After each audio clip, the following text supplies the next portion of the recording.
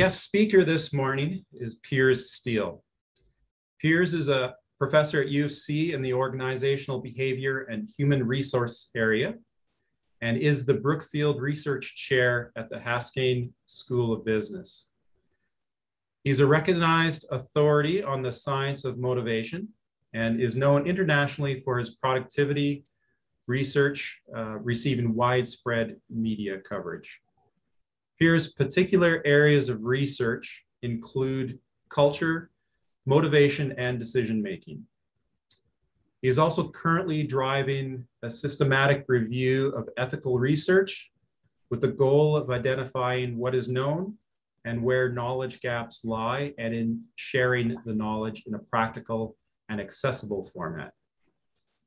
He has expertise in systematic review and meta-analysis, having published over 25 scholarly articles on the topic, and is a member of the Society of Research Synthesis and Methodology. He has published several methodology papers on how to improve meta-analysis. So uh, please help me welcome Piers Steel.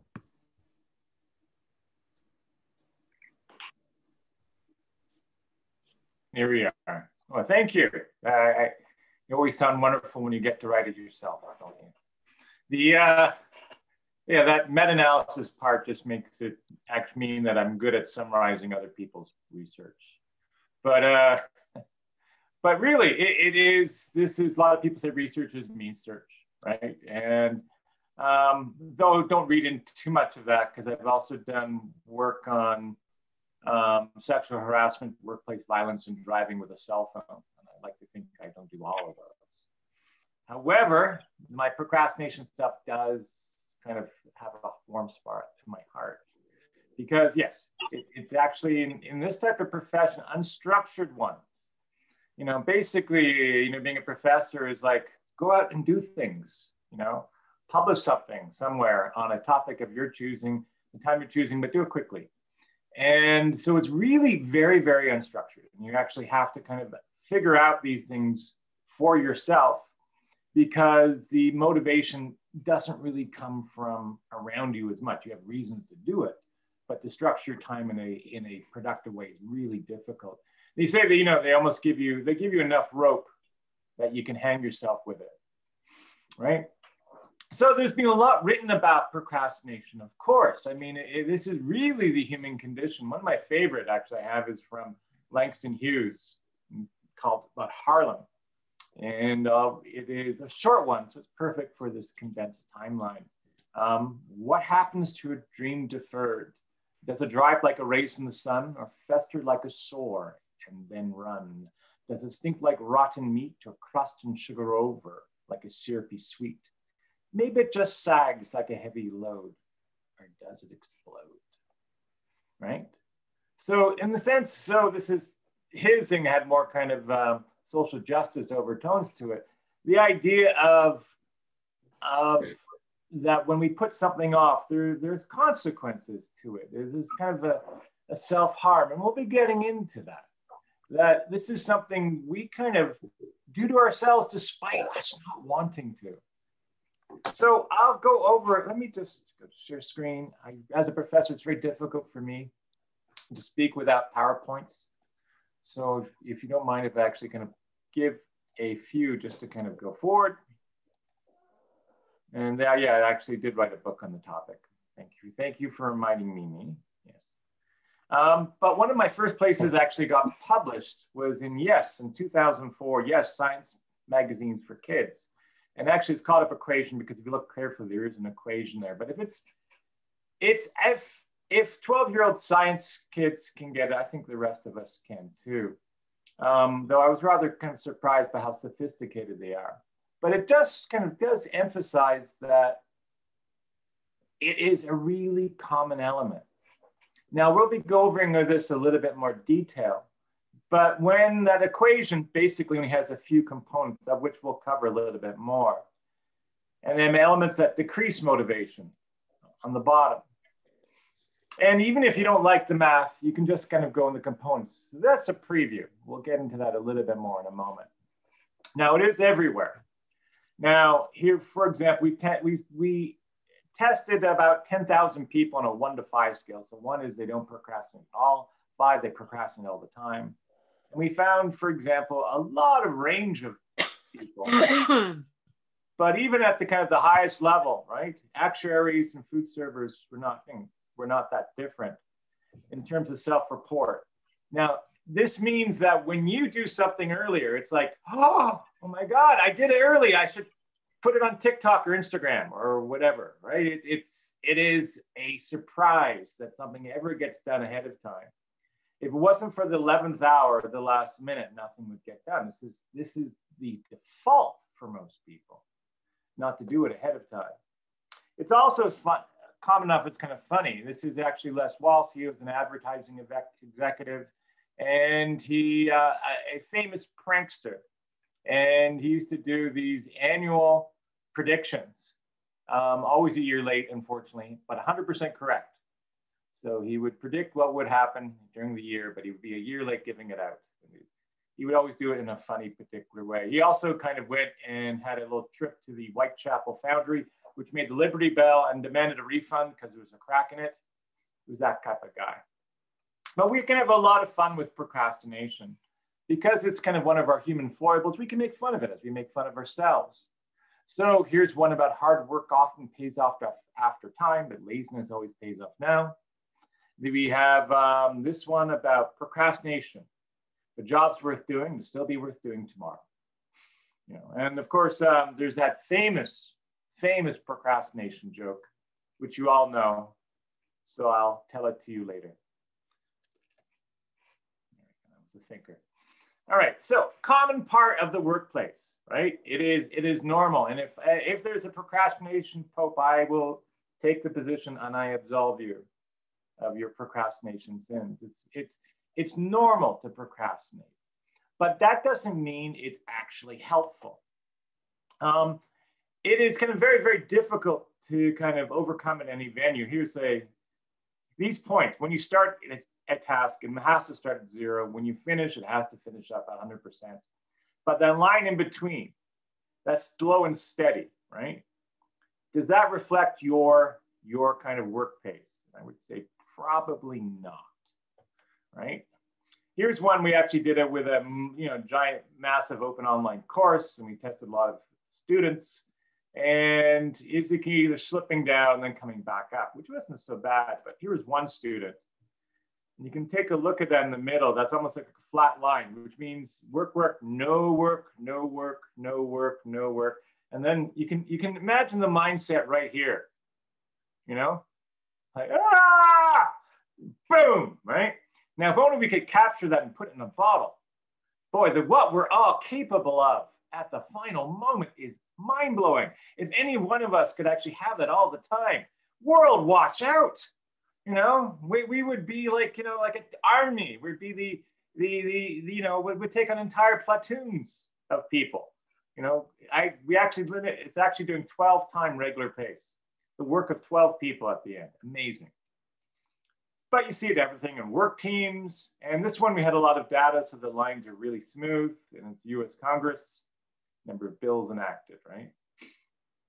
So the question is, of course, um, why do we do it and what is it, right? And is it you're someone lazy, right? You're just you're not doing it lazy, and I would give an emphatic no, no, because there's one thing that lazy people don't do: they don't intend to work. If you made intention to work, I said, and you want it, that doesn't make you lazy, right? But there's an action and intention gap. And that's where, where the actual problem is. And we kind of struggle against it. We don't want to want not to work. So we can put it up into a kind of a more full-blown definition. And that's when we voluntarily, we're not can't be forced, to put off our intention to work. So we had an intention to work despite expecting to be worse off. Now I can make that a little simpler, putting off despite being worse off which makes it kind of self-harm. So if you're saying, well, I'm, I'm procrastinating, but it's fine because it's all to my advantage, I'd say call that uh, scheduling maybe. You know, you're scheduling your work, that's fine. Um, Woody Allen said, time is nature's way of preventing everything from happening at once. So you can't have everything happening once you have to schedule. And it's when you decide to do a less important thing when you know you should be doing a new, more important thing. That's procrastination. And by the way, it's by your own standards. It's whatever you think. If you want to go out and say, no, I, I've got to tend to my physical well being, my mental health, and that has to be a priority. That's not procrastination. It's by your own standards and belief about what is a good life. It's when, despite knowing that, you still put it off.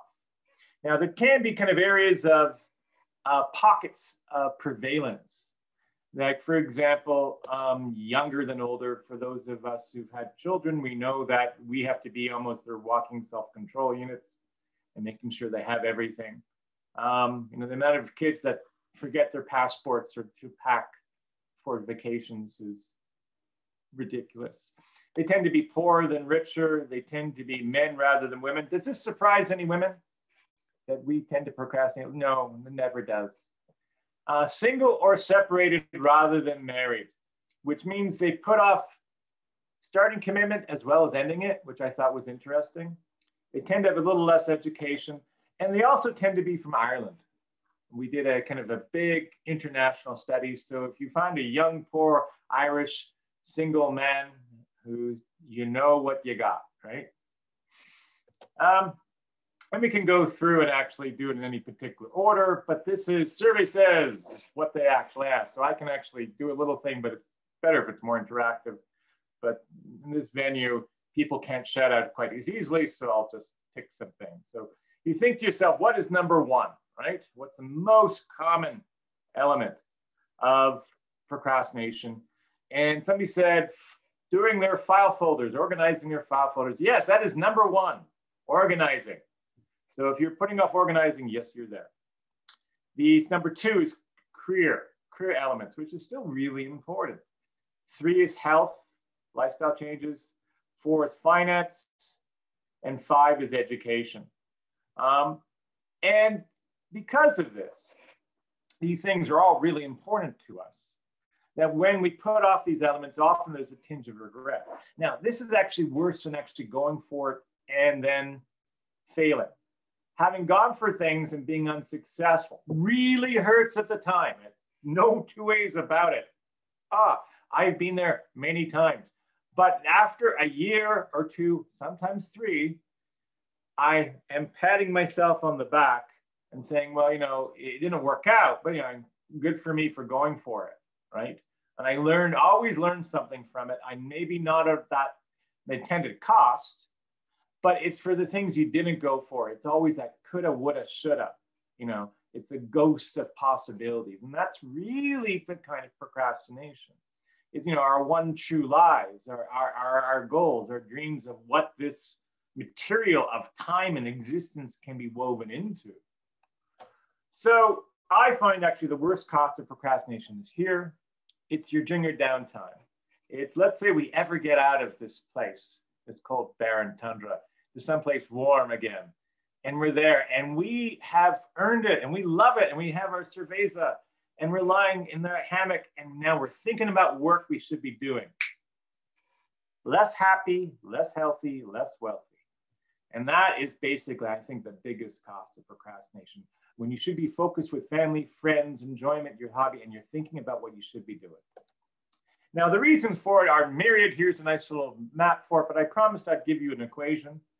And I know you've been desperately looking forward to that, you know, being, so I will get to it quite quickly. As a, as a meta-analysis, my job is to boil everything down to its core, kind of like making scientific soup stock. And when I actually took all these three things and meta-analytically boiled off the noise, what I found was the magic number three. Fans of Schoolhouse Rock will have a special, special. I've tried, I did the video for it. It's a surprisingly small audience that really likes Schoolhouse Rock, so I took it away. Um, but the first one is the idea of expectancy or grit or self-confidence or, or you know, chutzpah or, or self-efficacy. And there's an old saying, and this is a, a, bit of a cliche, but if you think you can, you think you can't, you're right. Now, it's total hyperbole, right? that really is, if you think you can't, you're less likely to put in as much effort, which then reduces your chances of success. Doesn't trip off the tongue is nice, right? Uh, still, I can do it that everything's created twice, one first mentally, then physically. You got to think it through, be able to visualize it, be able to do it. And without that, when you're trying to do something for the first time and only have a vague idea, that can be a real block. Another one is simply that you dislike what you're doing. When you think about what you're putting off, I assume it's not something that excites you or you find wonderful. It's usually something boring. And boredom is nature's way of saying it's irrelevant. So we kind of actually are respecting our, our, our inherent decision making system that if we don't like it, we shouldn't do it. Third one is the idea of time here, time or delay. That we just don't like our rewards to be certain, high expectancy, and them to be enjoyable, high reward. We like them to be like Veruca Salt from Charlie and the Chocolate Factory. We like them to be, I don't care how, and say mentally with me, I want it now, right? Love now. Now is the tasty sauce to put on any type of reward. Yeah, you know, delaying for chumps. If I could have it today, I will. So again, I can put now all those three elements in there. So when am I motivated? Well, when I have self-confidence and value in something. That's rational gambling. If you ever do gambling, that's really the equation you should go for.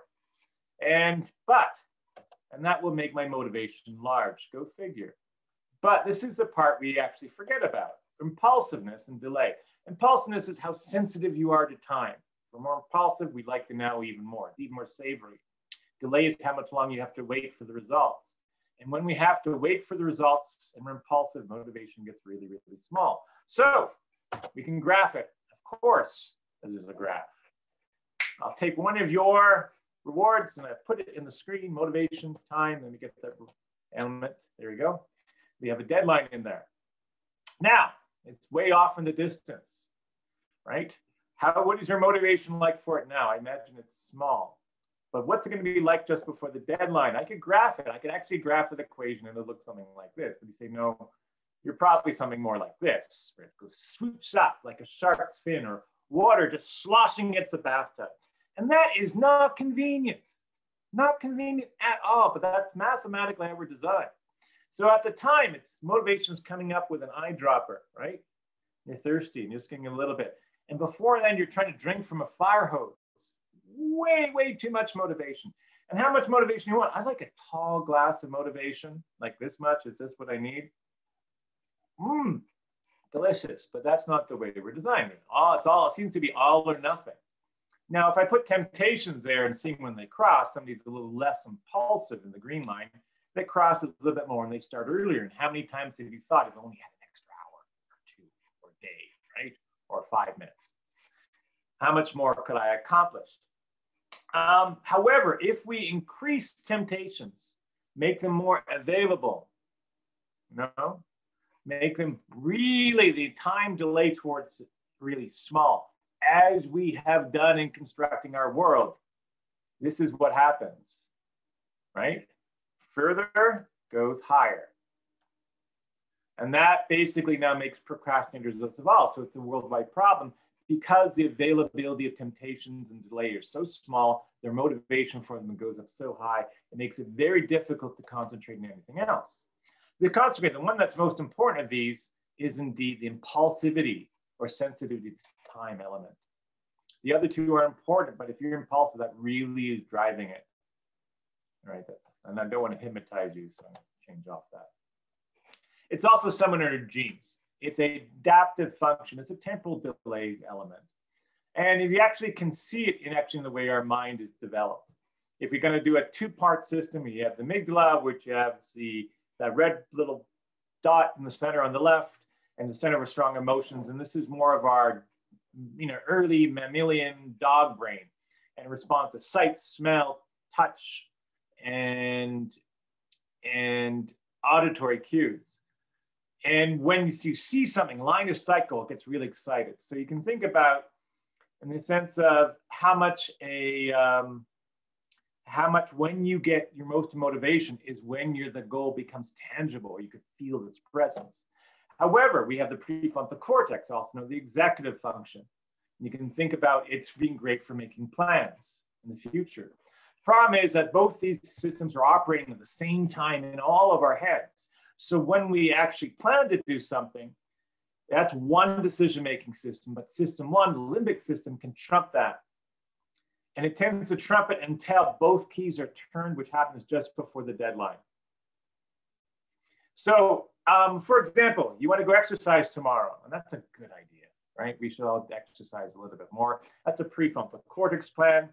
But you get up and that bed is so cozy and you're tired and the snooze button is right there. And that's a limbic system decision, boom, right? Because it's here and now. And we constantly have this where the plans of the prefrontal cortex gets trumped overridden by the limbic system, which is all about touch, taste, and hear and what we can sense. So abstract cookies aren't that tempting, but if I bake a nice fresh plate and I put it in front of you, and you now have the choice, for example, you can smell them. Oh, maybe I'll have one or two, you know, because I might want one for later. And that is basically the source of a procrastination. Now you can see some of this in a fun way.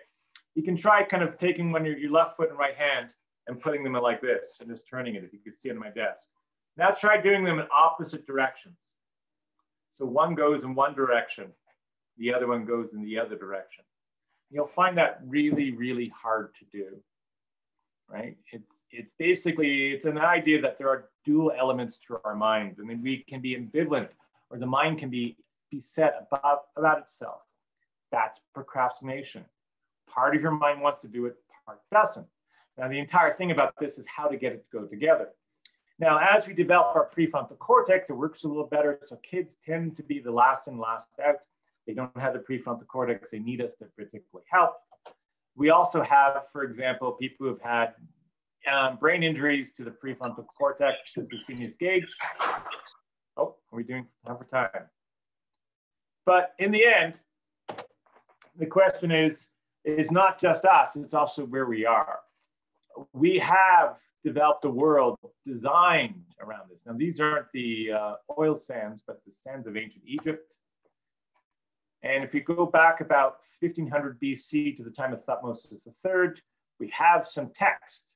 It doesn't talk about a buried stargate, unfortunately, but it does talk about this.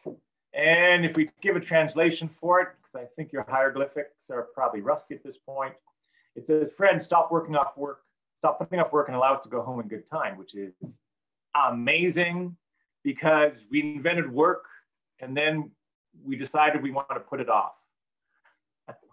Right? So it's right there from the beginning. You know, and here's Hesiod at APC. They just got their language together. He was the world's first economist slash poet. Um, from my understanding of economists, he's the only economist slash poet. So he's kind of unique in that and translating that is a man who puts off work is always hand grips with ruin. And then we can go through and you can see it in religious texts. You know, that's from the Bhagavad Gita. This is from Buddhism. This is Christianity. Um, all great examples in each of them because no matter what of them, they want you to do something today to get enlightenment later. And you know what's the best time for redemption and putting off eating pork? That's, that's next week, right? So um, it comes along until the Industrial Revolution about 1750. And then we have Samuel Johnson, and he's writing The Rambler about this one of the general weaknesses that prevailed to greater or less degree in every mind. So it was there before him, but now it's really exploding. And as our GDP and our options, our temptations are going on, so goes up procrastination. In fact, in the 1970s, we start, started measuring it formally, and we had this. But if you do it today, it would look more like this a five-fold in chronic procrastination. Of course, it's four to five. It's like everyone's on the top end of the scale, right? And you look about where are we work and where we live, and you can think about it is a, a, a wonderland of temptation. And everything is actually kind of exploding its most consumable immediate properties. Open this up, consume it now, you can have it. Because catering to the limbic system is really, really profitable. So we have a world which is fine, focused like a laser on trying to make our impulsive side actually kind of go forward. And when we have it pretty much everywhere, where all the temptations are instantly available by checkout counters or, in seconds from our apps. That is a day, very difficult place not to procrastinate upon.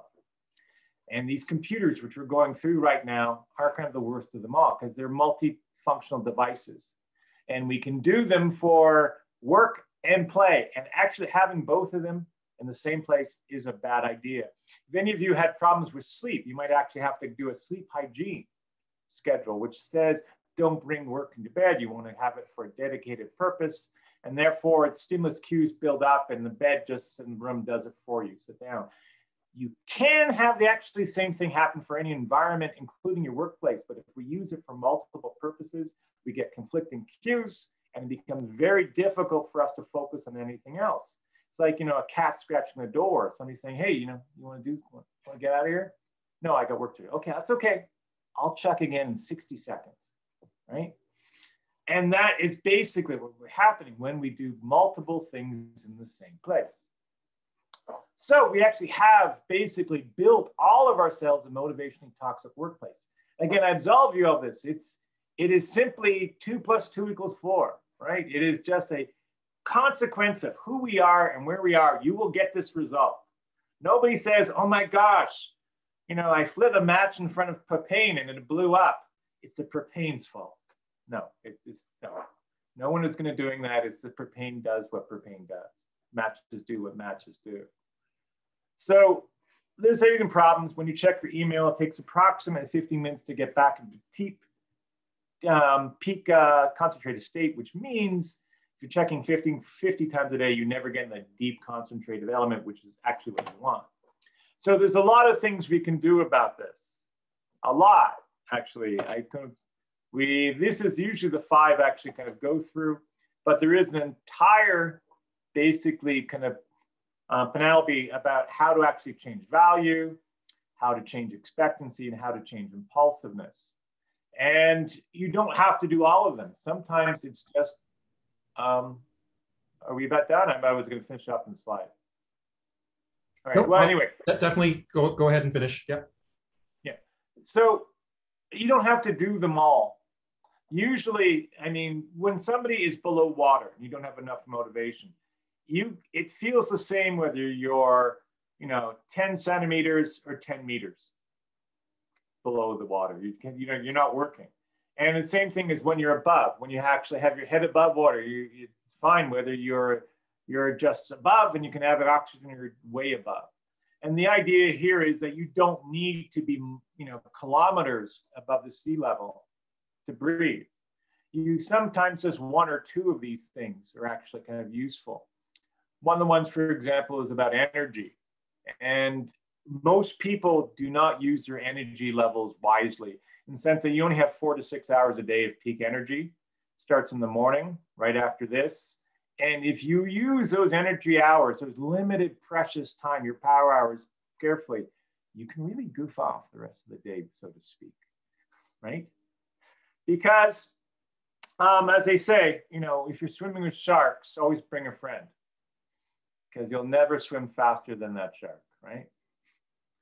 You don't have to swim, be perfect. You just have to be better than your competition. And they're procrastinating too. Okay, um, we that's about it. Usually I have a whole bunch of slides in case they come up that actually specific um, different types of techniques. Usually I kind of end about this one, which is kind of a nice way of kind of going about doing it. Um, again, the idea that this is very, very common. But um, in conclusion, I know when you feel angry about your procrastination. Um, I don't want you to feel one of the things that prevents people from actually addressing it is guilt and shame. And if you can get past that and just think about this being normal, you'll be you'll be much much better off. Also, what you've tried might not have worked, there, but it does. There are lots of techniques out there, as I kind of already briefly alluded to, that actually work really really well, and you don't need to master them all. The last step is a sense of agency um, which I cannot give you. Uh, you have to have that sense of agency yourself. If you're, it's like somebody broke into your home, No reason, don't blame yourself about it. They didn't break the home, but you can clean it up. They're not going to come back and do it. You better do it yourself. So um, if you want to know a lot more about it, yes, there's a book on it. It's done pretty well, I suppose. Most people seem to like it. Um, not everybody, though. Uh, this one, right? Um, you know, here is a very good, useful book. Um, this person thought it was too theoretical, which I like because they misspell every word almost in their sentence. So I'm thinking, yes, that's my one star crowd. Sure, I'll accept that one. Um, just don't say you'll stop doing this tomorrow.